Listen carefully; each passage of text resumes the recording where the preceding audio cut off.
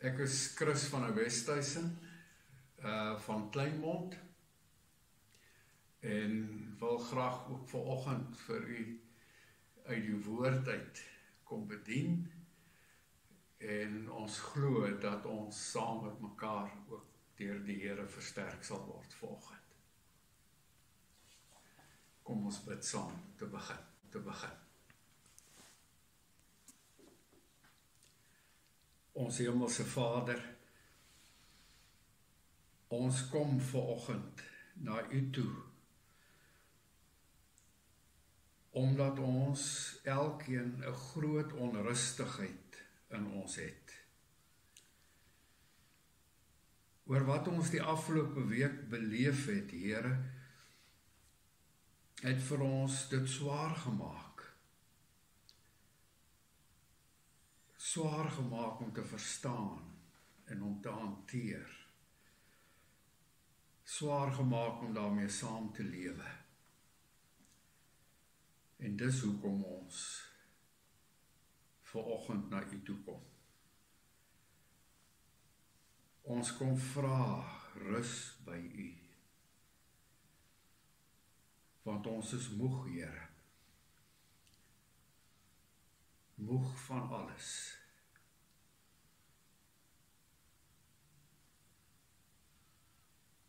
By u alleen is ons hoop en ons uitsig na môre. Bedien ons tog Here deur u woord met u liefde en raak ons aan. In Jesus naam. Amen Ons luister saam met mekaar ver oggend na die woord van die Here uit Psalm 62. En ek lees vir ons voor van vers 1 af. Net by God vind ek rus. Van hom kom my redding. Net hy is my rots en my redding en my veilige vesting sodat ek vas en stewig staan. Hoe lank wil julle almal nog beskuldigings bly slinger en my probeer doodmaak? 'n Man wat reeds is soos 'n muur wat wil omval, 'n klipmuur wat omgestoot word. Hulle probeer my uitwerk. Hulle skep beha in leuns. Met die mond seën hulle en met die hart vervloek hulle. Net by God vind ek rus. Want op hom vertrou ek. Net hy is my rots en my vesting. My veilige redding. Sodat ek stewig staan. God is my redding en my krag. Hy is my rots, my sterkte. God is my toevlug. Vertrou op hom, my volk. Stort julle hart voor hom uit. God is vir ons 'n toevlug. Mense is verganklik. Mense is niks. Op 'n skaal wys hulle nie eens gewig nie. Moenie op geweld vertrou nie. Roof sal jou niks in die sak bring nie. En as jou rykdom toeneem, moenie dat dit jou te na aan die hart lê nie. Een ding het ek God hoor sê. Nee, twee. Dat net God mag het en 'n mens net op U, o God, kan vertrou en dat u met elkeen handel volgens sy verdienste. Deur die week wat verby is, het ons al die TV-beelde gesien van hoe mense opruim na die chaos van die oproer, die plundering en die brandstigting in veral KwaZulu-Natal en Gauteng. Ons het gesien hoe mense skouer aan skouer staan. Hoe hulle werk, hoe hulle optel, hoe hulle weggooi, hoe hulle wegry. En dis goed so. Dis reg dat skoon gemaak word. Dat orde gebring word. Dat die tekens van wanorde en sinneloosheid verlig word. Mense het saam gestaan om dit te doen. En dit is reg so. Want waar so opgeruim word, breek hoop weer deur. Kom daar nuwe lig soos met 'n nuwe dag breek. Jy kan weer vorentoe sien. Daar's weer lig aan die einde van die tonnel. En dit alles gebeur met ons terwyl die COVID pandemie ook nog onder ons ingryp en sy eie soort verwoesting saai. Byna elkeen van ons ken iemand naby wat van ons al weggeruk is of baie siek geword het of op ander maniere baie swaar kry as gevolg van COVID. En ons almal word daardeur geraak. Die las wat ons dra word al hoe swaarder. Ons kan sê dis donker om ons. Terwyl ons nog vandag probeer om te verstaan. Want wanneer ons verstaan, dan voel ons mos ons kan dit hanteer. En dit wat ons nou mee te doen het is vir ons byna onverstaanbaar. Natuurlik, binne ons vermoëns probeer ons optree, probeer ons met ons lewens aangaan, probeer ons oplossings kry. Ons maak aanpassings, persoonlike aanpassings, doelwitte word 'n bietjie verskuif. Dalk my finansiële beplanning klein bietjie agtertoe geskuif. Dalk is dit die kinders wat in hierdie tyd 'n bietjie vinniger moet selfstandig word. Daardie nuwe goed wat ons wou hê, moet dalk nou 'n bietjie wag. Maar met ons manier van lewe is al hierdie dinge waarop ons hoop om bymekaar te maak en om eendag te hê is dit daar om te kry. Ek moet net aanhou. Aanhou om eerste in die ry te wees by die supermark. Om eerste die parkeerplek reg voor die bank te kry of om by die dokter se spreekkamer nie te lank hoef te wag nie. Hoekom is die vrou met die trippelstappie in die supermark dan nou tog vandag so haastig? Sy lyk ongeduldig omdat daar mede-kliënte in die ry staan waar sy met haar trolly wil deur. Hoekom is die pad woede oor die enkele oop parkeerplek wat gerieflik is dan nou so erg en nodig. En hoekom is die jong man vandag so ongeduldig in die hardeware winkel?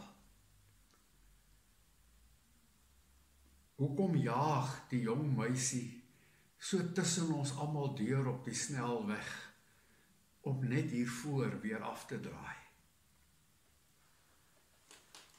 Almal wil eerste wees. Omdat sy of haar behoeftes hulle so jaag. En ons almal jaag maar so tussen mekaar en saam met mekaar.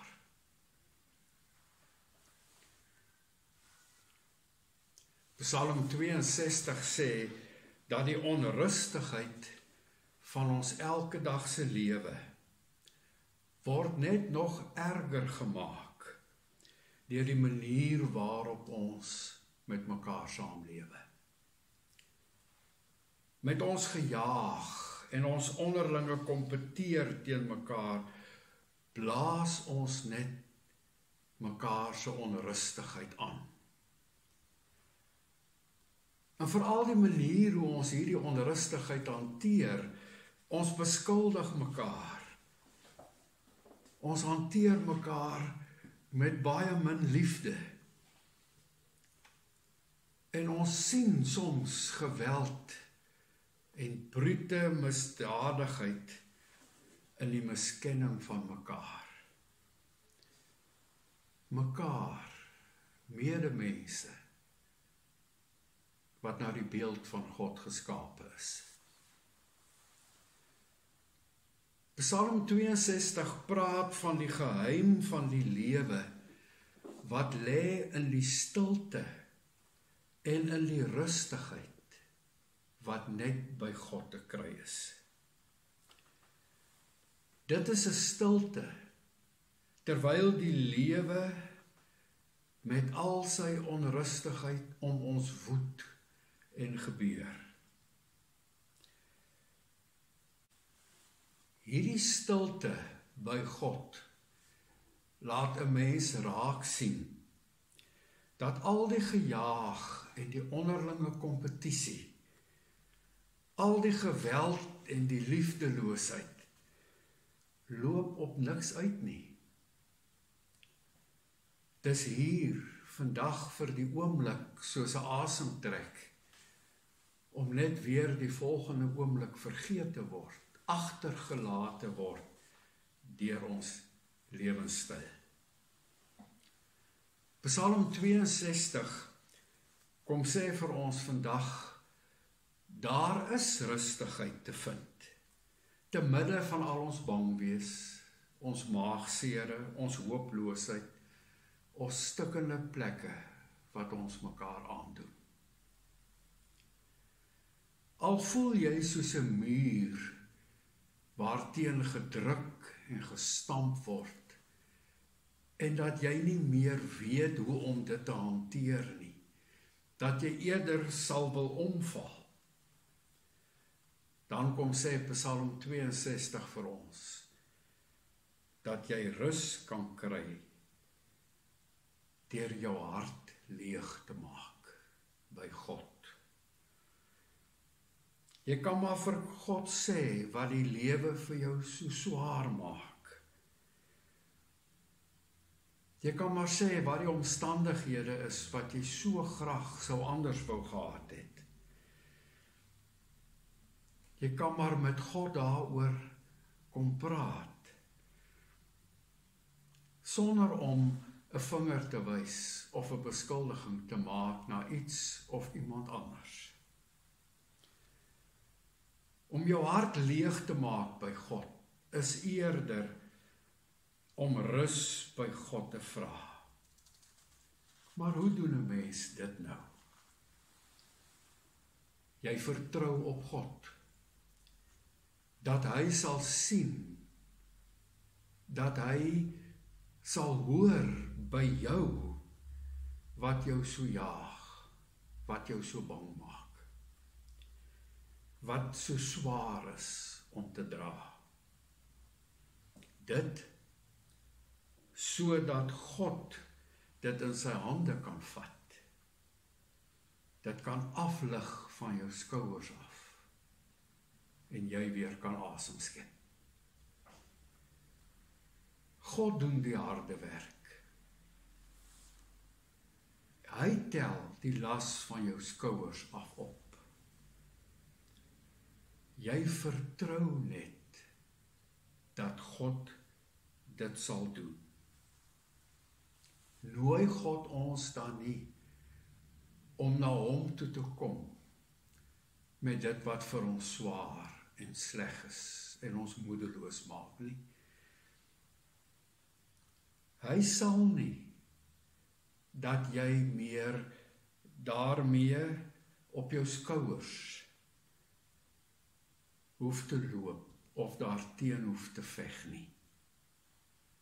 God is jou krag, jou toevlug, jou sterkte en jou redding. Dit gaan hier om die leegmaak van jou hart by God.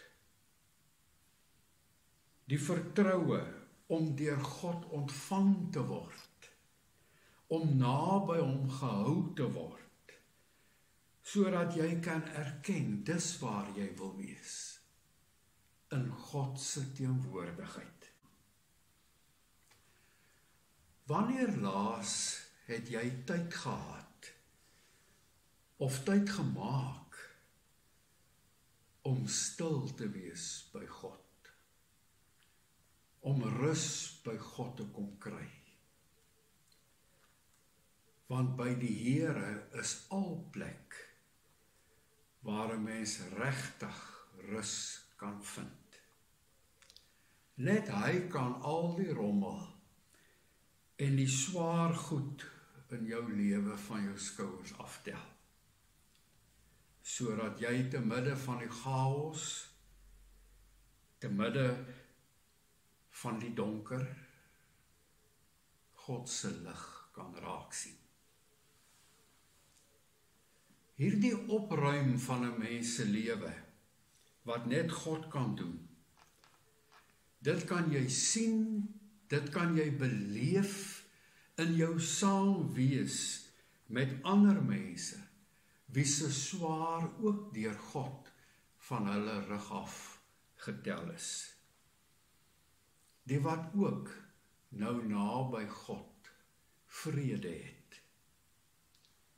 Dit maak die saamkom en die saamwees van mede-russoekers by God so nodig.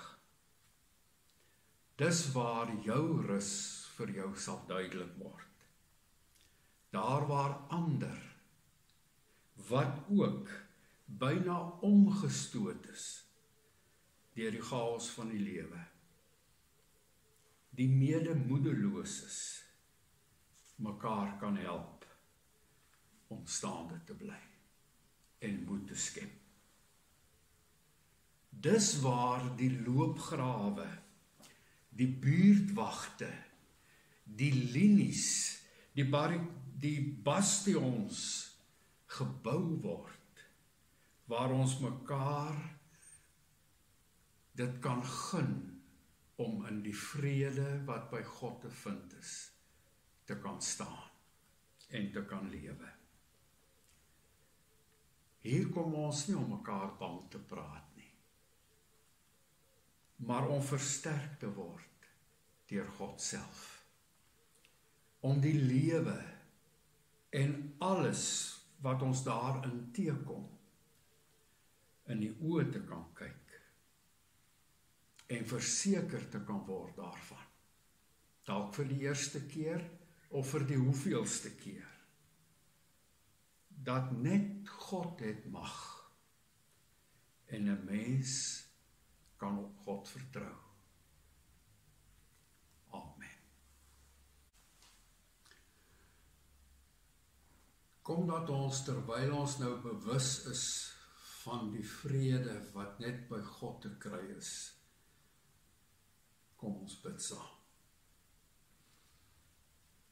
Here, U is hier by ons waar ons ook nou al is.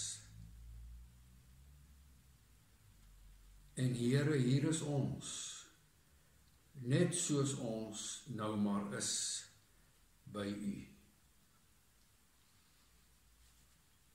U ken ons.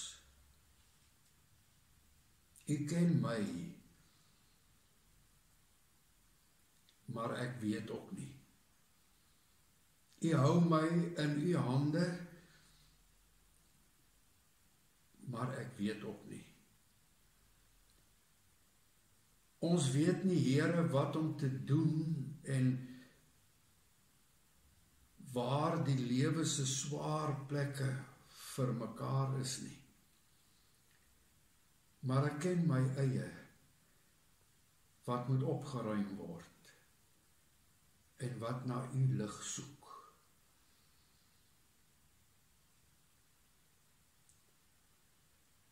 Ek weet nie altyd waar om na u te soek nie.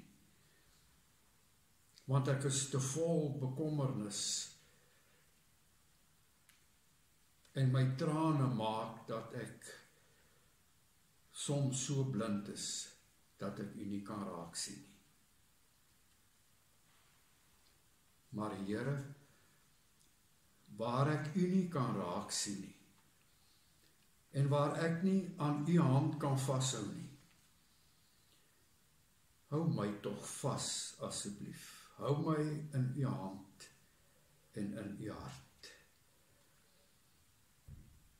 En ons gebed is Here dat u deur u woord asseblief u by wees by ons elkeen sal bevestig.